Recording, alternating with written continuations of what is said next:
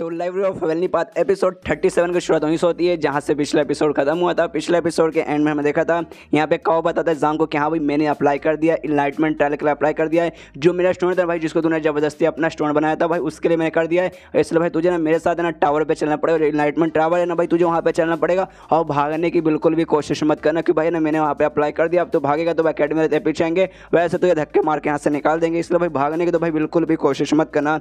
यहाँ पर जो मिस बिरू रहती है ना, ये सोचती गारी बाप रे जो बंदा ना ना का बहुत ज़्यादा मुझे ना कॉन्फिडेंस लग रहा है। तो मुझे ऐसा लगता है उसने कुछ ना कुछ ना पहले से ऐसा प्लान करके रखा है, जांग को परेशान करने के लिए, जांग के लेने के लिए। इसलिए ना वो जांग से कहते कि प्लीज़ यार, आप जाइए मत। लेकिन ये सुनिया देना एकदम बिंदास होकर एकदम कॉन्फिडेंस होकर जांग बोलते कि, ठीक है भाई, मैं आऊँगा। जो सुनिया यहाँ पे मिस बिरू हैरान हो जाती है, यहाँ पे जो कावा बीन रहते ना, वो दोनों भी थोड़ा सा हैरान होता है भाई, उनको ऐसा लगा था ना, जैसे जांग इसके बारे में सुना थोड़ा सा उसकी फटने लगेगी, थोड़ा सा कांपने लगेगा, घबराने लगेगा, लेकिन बिल्कुल भी घबराता नहीं है। और जो उसको बोला स्टूडेंट था ना भाई, वो मतलब सफ़ेद बाल वाला, उसको बोलाते कि हाँ भाई, आ जा तेरे साथ मुझे कहीं जाना है तो भी बंदा बाहर आता है। यहाँ पे ना मनी माने, ना जान के दिमाग में था कि हाँ भाई स्टार्टिंग में जब ये मेरा स्टूडेंट बना था ना, उस समय भाई मुझे पसंद नहीं करता था, भाई मुझे गालियाँ देता लेकिन भाई अब मुझे पसंद करने लगा भाई, क्योंकि भाई मुझे अब अपना टीचर कंसिडर करने लगा है। स्टार्टिंग में भाई मैं इससे नल्ला टीचर लगता था, लेकिन भाई अब मालूम है ना भाई मैं कितना स्पेशल बन चुका हूँ। जिसका भाई मुझे ट्रायल का बिल्कुल भी टेंशन नहीं है, जो ट्रायल है भाई आपको नहीं पास करेगा। यहाँ पे जो कावा बीन रहते ना, वो दोनों खुश हो जाते हैं कि हाँ भाई चल भाई, तू आने को तैयार होगा ना भाई तो आप भाई गया, तू आप सीधे गया ट्रायल में आ जाएगा ट्रायल मतलब फेल हो जाएगा।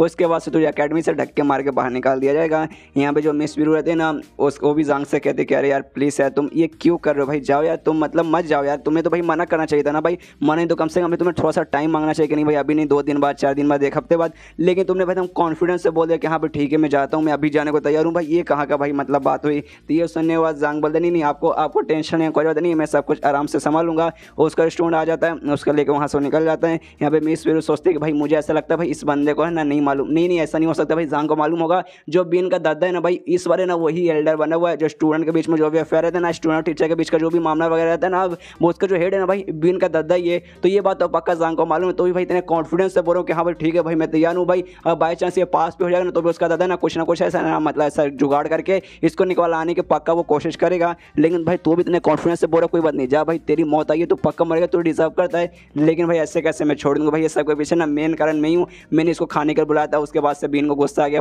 उनके बीच में इतना बड़ा लड़ाई चालू हो गया। मतलब भाई, ये सब का ना पीछे का मतलब सबसे बड़ी जो रीज़न है ना मैं ही हूँ इससे भाई इग्नोर तो मैं बिल्कुल नहीं मार सकती। इसलिए भाई मुझे भी जाना चाहिए। मैं भी वहाँ पे चेक करती हूँ कि भाई ट्रायल में क्या क्या होता है। इसलिए वो भी ना जांग के साथ वहाँ पर ट्रायल पे जाने के लिए निकल जाती है। उसके बाद ना, उससे पता जो इलाइटमेंट टावर था ना, वहाँ पे जहाँ पे ट्रायल होने वाला है, वहाँ पे इसका जो दद्दा है ना दद्दा आ जाता है। और उसने दद्दा ना एल्डर मो को बोला था। मो नाम का एक एल्डर था, उसको बुलाया था। कहते कि हाँ एल्डर मो आपका स्वागत है। आज आपको मालूम है यहाँ पर ट्रायल होने वाला है। जांग बाप रे, कितना, कमीना, कितना बेकार टीचर है। उसने ज़बरदस्ती भाई दूसरे का स्टूडेंट को भाई अपना स्टूडेंट बना लिया ये सुने देना यहाँ पे मिस्टर मो, यानी एल्डर मो कहते कि हाँ हाँ आपने अच्छा किया, आपने अच्छा किया। अगर जांग ने वाकई में उस स्टूडेंट को अपना स्टूडेंट बनाया मतलब ज़बरदस्ती अगर उसे बनाया होगा तो भाई हम उसे वहाँ से ना धक्के मार के निकाल देंगे। यहाँ पे तभी ना उसका दादा बताने लगता है कि हाँ भाई, जो जांग है ना, पीछे जो टीचर का टेस्ट हुआ था ना, उसमें भाई उसको ज़ीरो मार्क्स आया था, जिसके पास से जो भी बच्चे कुछ, उसके पास टीचर थे मतलब जो भी स्टूडेंट उसके पास थे ना, सब उसे छोड़ के चले गए तो उसके पास एक भी मतलब स्टूडेंट नहीं था। लेकिन भाई उसने ना पाँच उसने स्टूडेंट बना लिया है, जिसमें से भाई एक ये भी है। मतलब इतना बेकार टीचर के पास भाई पाँच स्टूडेंट मतलब कहाँ से आ गए? जिस बात का भाई हमें पक्का उस पर कि नहीं कि हाँ उसने ज़ोर ज़बरदस्ती से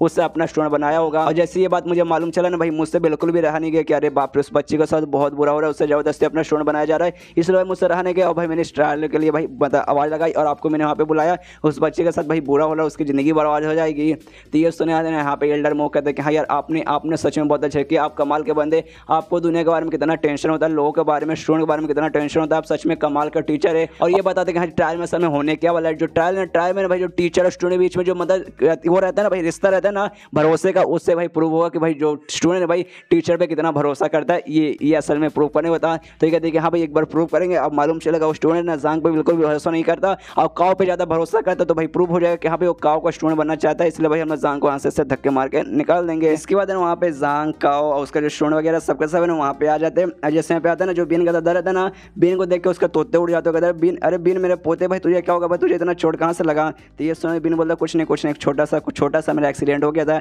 एक्सीडेंट वगैरह कुछ नहीं था। हमने पुराने एपिसोड में देखा था ना, उसका जो बटलर था, आए हाई बटलर ने इसकी कुटाई की थी, उसका थप्पड़ पे थप्पड़ मारे थे।